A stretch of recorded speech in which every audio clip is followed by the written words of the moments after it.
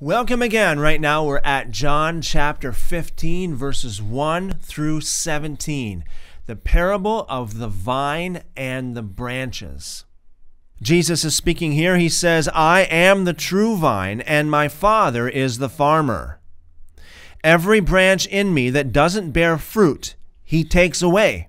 Now, some people believe that once you're saved, you're always saved. Okay? That once you, you know, say the sinner's prayer, once you accept Jesus as your Lord and Savior, you know, you will never, ever so called lose your salvation. Here it's very clear. Jesus said, If you don't bear fruit, the Father will take that branch away. Jesus said that He's the vine and that His disciples, His followers, are the branches. So here Jesus makes it clear that it is possible for you to be taken off of the vine. Continuing, every branch that bears fruit he prunes, that it may bear more fruit. Now, this here is not so pleasant, okay? The, the process of pruning. You know, it says also in the scriptures that discipline is not pleasant at the time, but in the long run, it produces a harvest or a, a the fruit of righteousness and peace. So, if you are being disciplined of the Lord, that's a good sign that you are a child of God or that at least God cares for you, okay? Because if He doesn't care for you, He wouldn't discipline you. He wouldn't punish you to teach you things, okay? The fact that God would punish you is a sign that He actually cares for you.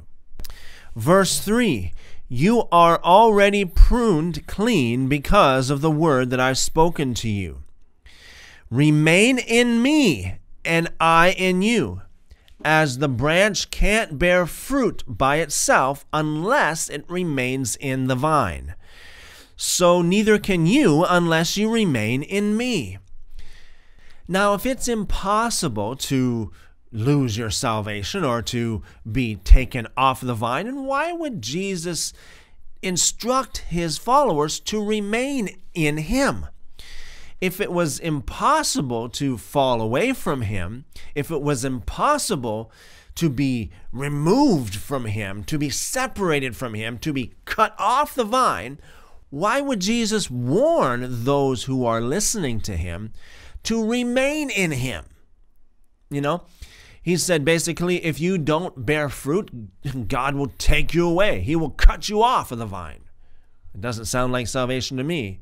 And he says, if you don't remain in me, you won't bear fruit. Verse 5 I am the vine, you are the branches. He who remains in me and I in him bears much fruit. For apart from me, you can do nothing. If a man doesn't remain in me, notice it says if, there are a lot of conditions here in this parable. If a man doesn't remain in me, he is thrown out as a branch and is withered. That doesn't sound like salvation to me. That sounds like death, spiritual death. And they gather them and throw them into the fire, and they are burned. This here is speaking about hell. Okay, I don't know how any people who are the once saved, always saved crowd, the OSAS crowd, can, can read this and continue in that very erroneous doctrine. How can you? I mean, it's very clear here. You are a branch, and you better be careful, or else God will come and cut you away. God will take you off of the vine, and you will be thrown away, and you will be burned. that doesn't sound very good to me. Verse 7 if you remain in me and my words remain in you, you will ask whatever you desire and it will be done for you. Again, if here, if you remain in me. Verse 8 In this my Father is glorified, that you bear much fruit. That's what God wants. And so you will be my disciples. So the implication here is that if you do not bear much fruit, you are not Jesus' disciples. How many people go to church today that bear much fruit for God? Just a question. Verse 9 Even as my Father has loved me, I have loved you. Remain in my love. Notice this Jesus commanded his disciples to remain in his love. Again, by implication, it's obvious here that it's possible to not remain in his love. If it was impossible to not remain in his love, in other words, if it's impossible to come out of the love of Jesus, then why would Jesus command his disciples to remain in his love? If, again, if you keep my commandments, you will remain in my love, even as I kept my Father's commandments and remain in his love. Here again is another condition. If you keep my commandments. Well, what are his commandments? Again, you got to realize that Yeshua, Jesus, is the personification of the Tanakh, the Old Testament, so to speak. Okay? So the commandments of the Tanakh, the commandments of the Word of God, are the commandments of Yeshua. Jesus is the Word in the flesh. Jesus is the human form of the Word of God. When John sat down in, in chapter 1 and wrote about how the Word became human form, the Word of God came to us in a human form what word was he talking about? There's only one word that existed back in those days. Those were the scriptures before Jesus was born. The scriptures as per Tanakh, the scriptures as per Dead Sea Scrolls. Those were the scriptures that John was talking about. That was personified in Jesus. So the commandments of Jesus are the commandments of the so called Old Testament. The commandments of Jesus are the commandments of the Tanakh. Jesus said, If you keep my commandments, you will remain in my love. Obviously, if you don't keep his commandments, you will not remain in Jesus' love. So his love is conditional. I know a lot of people don't like that, but this is what the Bible says. This is what it says here. Do you want the truth? Or do you want ear tickling messages from modern day preachers? You choose.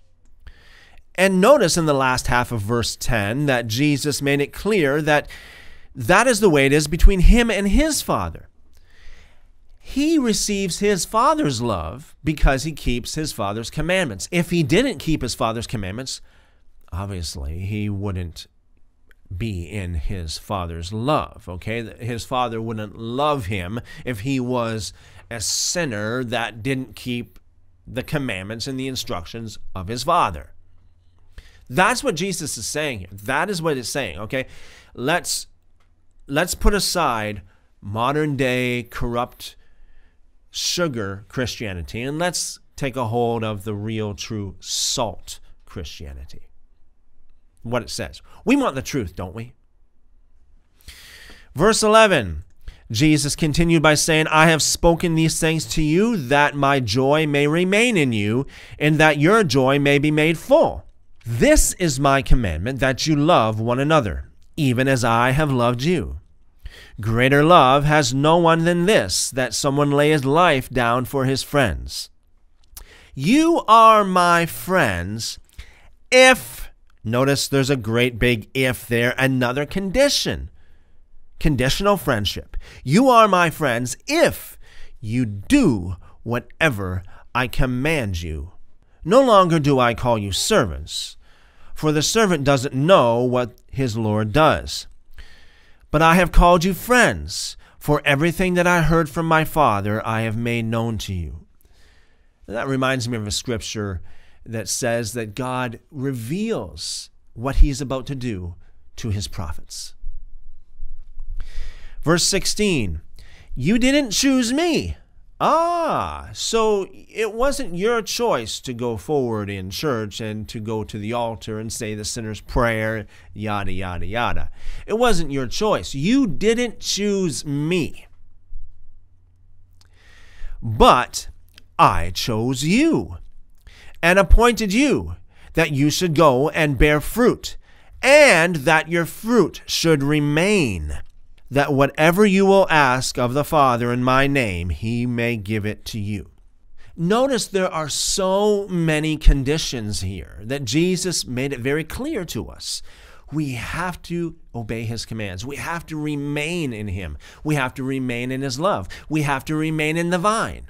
I mean, this just blows away the OSAS, the once saved, always saved doctrine. Again, anybody that believes in the once saved, always saved doctrine must put their blinders on when they read this. They must ignore what Jesus clearly says. May God give you the Spirit and the revelation to see and to understand what He has to say here. Not to ignore anything, not to ignore this verse, that verse, this precept, that precept, but let's take it all in. We want the truth, don't we? And we want the whole truth. May God bless you in your pursuit of Him, and may He show you great and mighty things as you call upon Him. Thanks again.